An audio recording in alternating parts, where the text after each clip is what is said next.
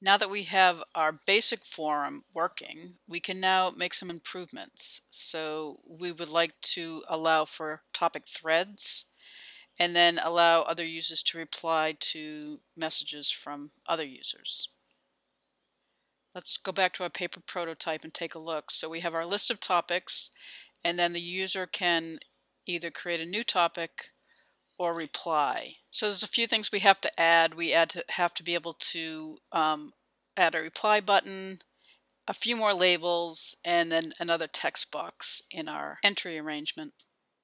Let's do another checkpoint. So let's checkpoint this, and I'm going to call this one basic form.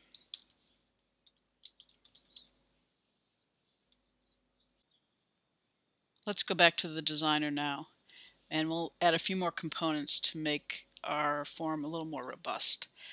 What I want to do is I'm going to hide this now just because I don't think we need to look at that. So we need to focus on what we've got. So we have our form arrangement which has our list view and make new entry button. And what I want to do is add another label up here. So I'm going to add a label inside that. I'm going to rename this topics label and, uh, and that's what I want it to say topics.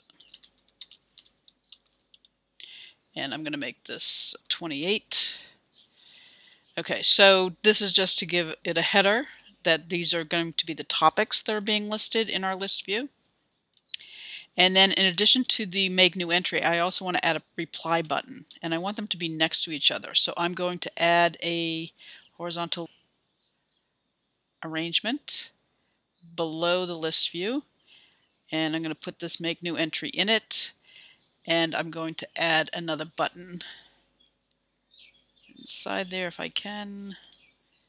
Yes, okay, I'm going to call that reply button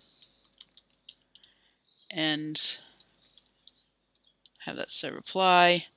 Let's make it the same size. This is 18. I'm going to make this font size 18. And let's maybe do yellow. Okay. So one thing I want to do is I'm just going to reorder these. I think we had in our prototype, we had it reversed. And I'm also going to disable reply initially. So uncheck the enable box. The next thing I'm going to do is add a second list view Whoop, below the current one. So above the two buttons below the list view. And I'm going to rename this one replies list view. So the user will select a topic and then what we're going to do is display all the replies that refer to that topic. I'm going to change the background color to this to white and the text color to black to match. And initially this will be invisible, so I'm going to uncheck that. And now that we're also working on topics, I'm going to change the text for my make new entry button to say new topic. So the user can either create a whole new topic and start a thread or they can reply to an existing topic. So those are the two options now. And then the last thing we want to do is in our entry arrangement, I'm going to add another text box.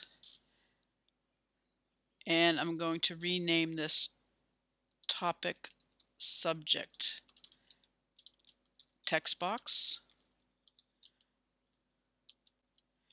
And I will make the width fill the parent. Let's add a couple of labels in here just to help the user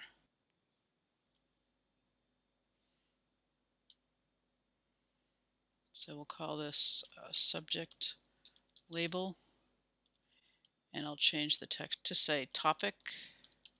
Let's make the size a little bit bigger and then rename body label and we will say this is body of message.